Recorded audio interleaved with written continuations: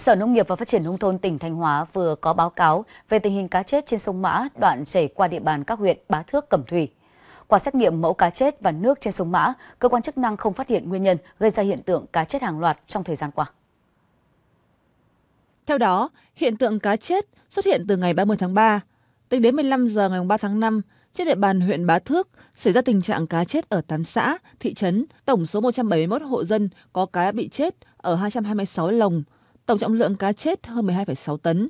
Cá nuôi lồng của 7 hộ ở xã Cẩm Thành, huyện Cẩm Thủy cũng chết bất thường vào ngày 3 tháng 5, tổng trọng lượng cá chết hơn 970 kg. Kết quả kiểm tra thực tế của Chi cục chăn nuôi và thú y, Chi cục thủy sản và Ủy ban nhân dân huyện Bá Thước cho thấy cá chết trên sông Mã không có biểu hiện lâm sàng của bệnh truyền nhiễm, bệnh ký sinh trùng, nấm trên cá. Khi mổ khám, thấy các cơ quan nội tạng của cá hoàn toàn bình thường. Chỉ số oxy hòa tan trong nước DO đo được tại thời điểm có hiện tượng cá chết từ 3,1 đến 3,3 mg trên một lít, thấp hơn ngưỡng thích hợp. Căn cứ kết quả kiểm tra thực tế, kết quả xét nghiệm cho thấy không phát hiện được các bệnh truyền nhiễm, ký sinh trùng, nấm trên cá chết được lấy mẫu, có hiện tượng thiếu oxy hòa tan trong nước DO tác động làm cho cá chết. Để kịp thời khắc phục hậu quả thiệt hại, sớm đưa sản xuất ổn định trở lại, Sở Nông nghiệp và Phát triển Nông thôn Thanh Hóa đề nghị các huyện Bá Thước, Cẩm Thủy tăng cường giám sát để phát hiện các trường hợp có động vật, thủy sản chết, thực hiện kịp thời các biện pháp khắc phục, xử lý giảm thiệt hại. Liên quan đến vụ bùn thải sau nạo vét đổ ra hồ nước tại thôn Bằng Lãng, xã Thủy Bằng, thành phố Huế, theo kết quả quan trắc của Trung tâm Quan trắc Tài nguyên và Môi trường tỉnh Thừa Thiên Huế cho thấy, mẫu bùn thải nạo vét từ hói phát lát đổ ra hồ nước nằm trong giới hạn cho phép. Theo kết quả quan trắc phân tích mẫu môi trường, kết quả phân tích các thông số tổng dầu hóa chất bảo vệ thực vật clo hữu cơ, hóa chất bảo vệ thực vật hữu cơ cho thấy các thông số đều nằm trong giới hạn cho phép. Sở Tài nguyên và Môi trường đề nghị UBND thừa thành phố Huế yêu cầu chủ đầu tư trong quá trình triển khai dự án tiếp tục tiến hành phân định bùn nạo vét để có phương án xử lý đảm bảo đúng quy định. Đồng thời quản lý lượng bùn nạo vét phát sinh trong quá trình thi công dự án theo quy định của pháp luật về bảo vệ môi trường và quy định về quản lý chất thải rắn trên địa bàn tỉnh. Được biết, ngày 11 tháng 11 năm 2023, UBND thành phố Huế ban hành quyết định phê duyệt báo cáo kinh tế kỹ thuật và kế hoạch lựa chọn nhà thầu xây dựng công trình khơi thông hói phát lát. Tuy nhiên, khi triển khai việc nạo vét, đơn vị thi công cho phương tiện vận chuyển bùn thải từ hói phát lát lên đổ tại khu vực hồ nước thuộc thôn Bằng Lãng, xã Thủy Bằng, thành phố Huế. Bùn thải được đổ xuống hồ khiến nhiều người lo ngại sẽ gây nên tình trạng ô nhiễm môi trường. Sau khi cứu sống 12 ngư dân và vớt được thi thể một ngư dân sau vụ 4 tàu chìm trên biển,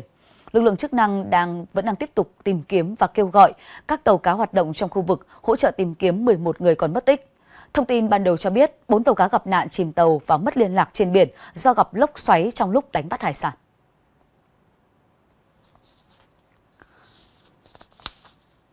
Vào chiều mùng 6 tháng 5, lực lượng Bộ đội Biên phòng tỉnh Quảng Bình phối hợp với chính quyền các địa phương, lực lượng chức năng và ngư dân đã tổ chức tìm kiếm cứu vớt 13 người, trong đó có 6 người đã vào bờ, 6 người khác đang trên tàu các ngư dân và một người đã chết. Các lực lượng đang khẩn trương tìm kiếm 11 nạn nhân còn lại, gồm 6 thuyền viên trên tàu cá QB 92699TS hiện đang mất tích và 5 thuyền viên khác trên tàu cá QB 98614TS đang bị mất liên lạc.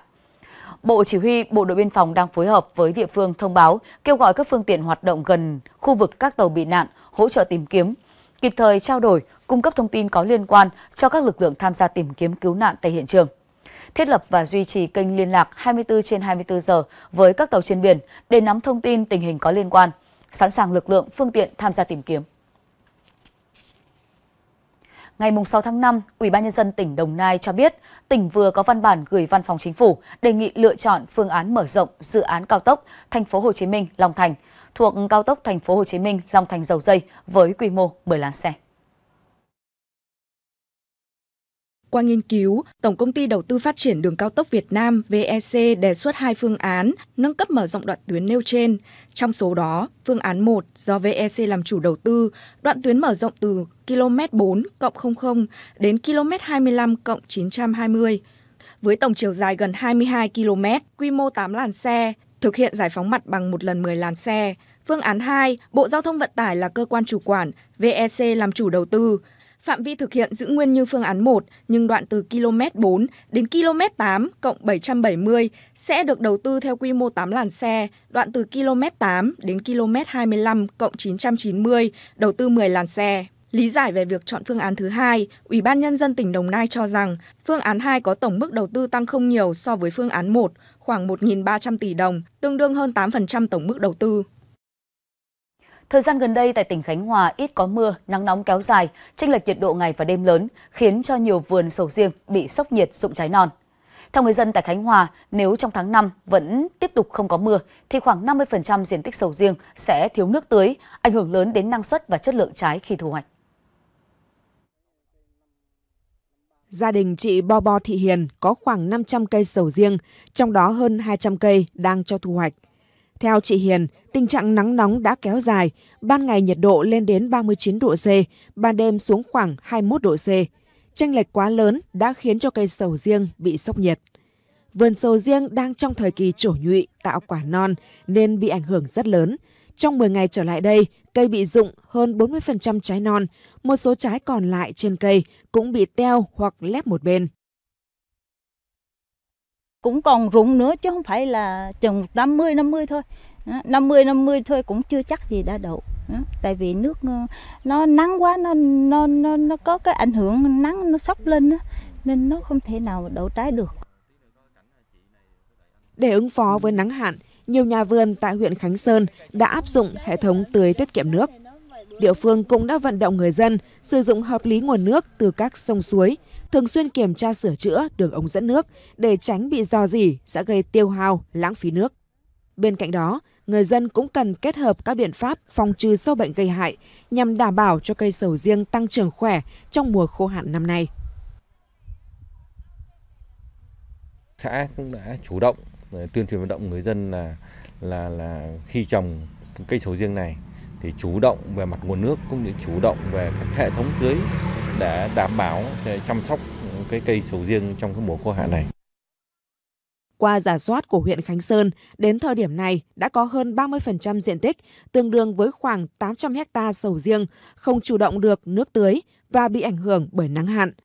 Các diện tích này chủ yếu ở những khu vực trên đồi cao xa nguồn nước. Nếu thời tiết nắng nóng tiếp tục kéo dài trong vòng một tháng nữa, thì sẽ có hơn 1.300 hecta bị thiếu nước nghiêm trọng. Hiện tại là trên địa bàn huyện là có khoảng 2.600 hecta sầu riêng và trong đó một khoảng 1.500 hecta là đang trong giai đoạn kinh doanh. Thì mà nếu mà à, trong giai đoạn kinh doanh là hiện tại là cây sầu riêng đang xả nhị và mang trái non. Nếu mà hình không có nước tưới thì sẽ rụng sẽ gây rụng sốc, sốc nhiệt và rụng hàng loạt. Những vườn canh tác chuẩn, ra hoa, có quả sớm thì ít bị ảnh hưởng. Những vườn tạo trái non từ khoảng giữa tháng 4 đến nay bị ảnh hưởng nhiều do tranh lệch nhiệt độ ngày đêm lớn. Ngoài ra, người trồng sầu riêng còn lo lắng trái non sẽ tiếp tục bị rụng trong thời điểm mưa đầu mùa xuất hiện. Các cơ quan chức năng khuyến cáo để tránh bị sốc nhiệt bởi nắng nóng kéo dài, các nhà vườn cần tập trung tưới phủ toàn cây trong thời điểm từ 6 đến 8 giờ để cân bằng nhiệt độ cho cây. Trong giai đoạn hoa trổ nhụy, đậu trái non từ 15 đến 20 ngày, người dân cần sử dụng các loại phân bón lá để cây sầu riêng tăng tỷ lệ đậu trái và hạn chế bị rụng.